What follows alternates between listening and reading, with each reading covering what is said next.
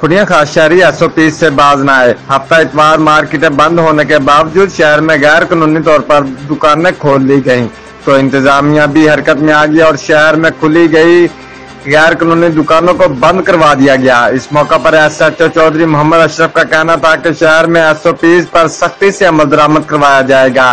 Report मार Basharat Siddiqui divisional bureau chief Geo express news, Lahore.